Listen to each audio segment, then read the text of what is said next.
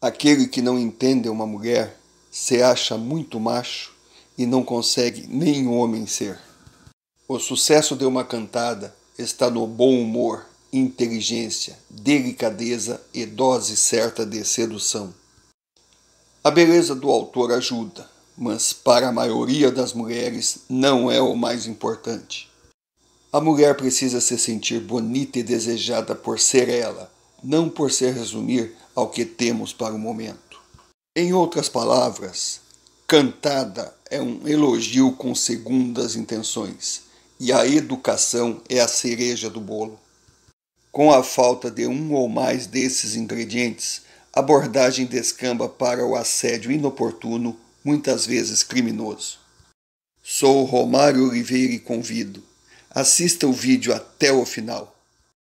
Após a vinheta, tentaremos entender o porquê do Ministério da Saúde advertir uma cantada mal educada pode trazer marcas ao rostinho do sem noção.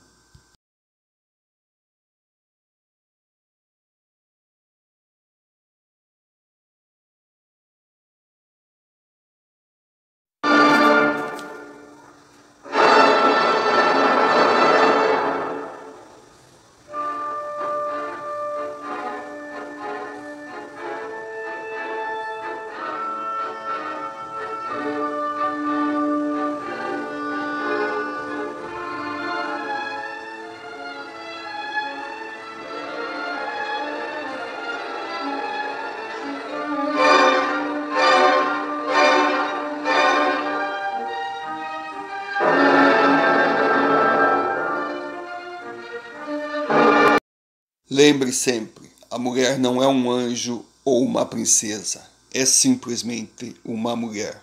Tem desejos, anseios e vontade própria.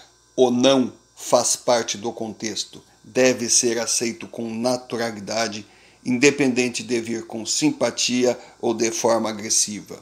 Sempre bom lembrar: foi ela que teve o espaço invadido. Homem inteligente sabe relativizar conceitos de caça e caçador.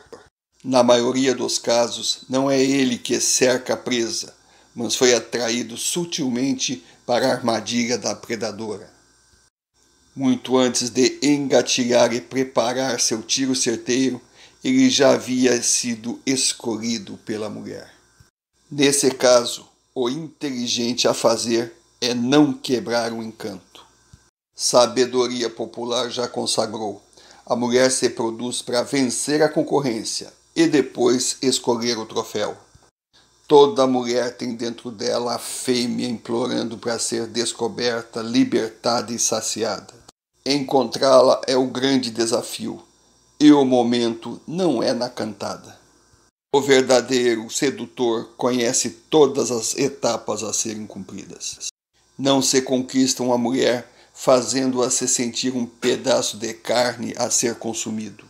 Existe a mulher que dispensa preliminares. Essa irá para a cama com facilidade, pois o objetivo dela é o mesmo que o seu.